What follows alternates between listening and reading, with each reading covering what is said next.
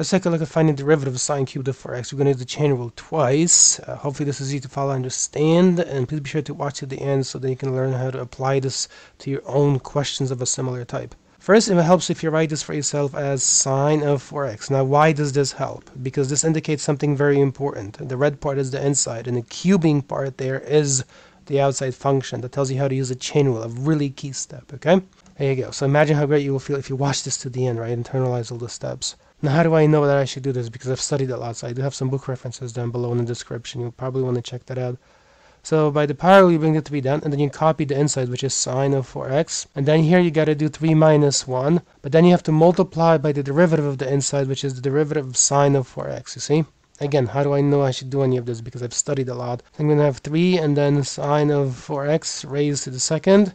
Now the derivative of that part so here you got to use a chain rule again. Now how do I know that? Because here sine, for example, that green one is one function and then for x is a separate function. So I got to use a chain rule again. So that one looks like this. You're going to do derivative of sine x. I'll put that within parentheses, which is cosine.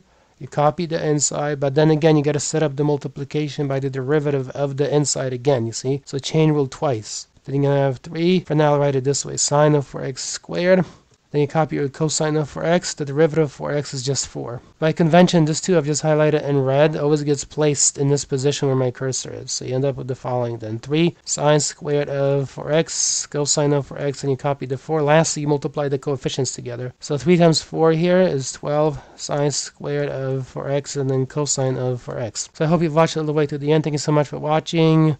Please be sure to subscribe, like, and share for those who might be going through something similar with you.